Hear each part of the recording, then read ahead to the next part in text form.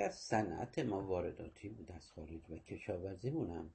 وارداتی شده بود از خارج محصولات کشاورزی. بنابراین اینا به صورت زیربنا اگه بگیریم روبنا که درسای دانشگاه بود محتوای دانشگاه های ما بود اینا وارداتی شده بود. ما دائم می‌رفتیم کتاب های اقتصاد و سیاست و روانشناسی رو از غرب می‌گرفتیم میآوردیم ترجمه می‌کردیم میبردیم سر کلاس درس می‌دادیم.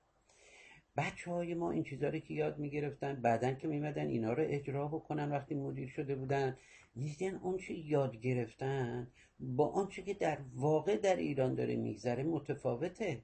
و هر چی یاد گرفته های خودشون میمدن به کار میبردن. برای حل مشکلات مملکتشون می‌دیدن مشکلات حل نمی‌کنه و جواب نمیده این تئوریا که هنوز همین مشکل در ایران هست. که ما نتونستیم دانشگاه رو درونزا بکنیم.